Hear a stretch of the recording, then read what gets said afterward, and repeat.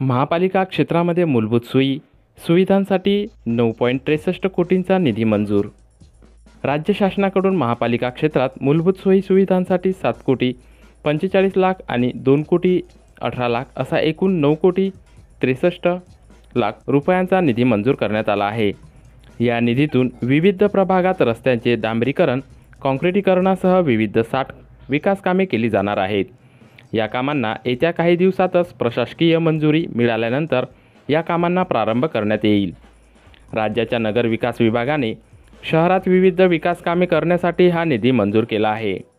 या अनुषंगाने विविध प्रभागात विविध विकास कामे घेतली आहेत.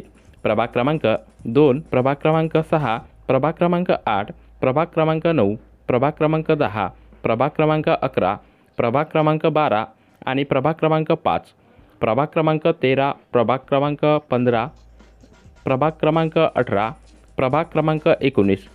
या प्रभागांचा समावेश आहे. रस्त्यांचे काँक्रिटीकरण डांबरीकरण नाल्यांच्या बांधकामासोबतच संत तुकाराम चौकाचे राहिलेले काँक्रिटीकरण शिवाजी पार्कचे सौंदर्यीकरण शिवसेना वसाहतीत सामाजिक सभागृह आणि महात्मा फुले नगर भागात सभागृहांचे बांधकाम यातून केले जाणार आहे.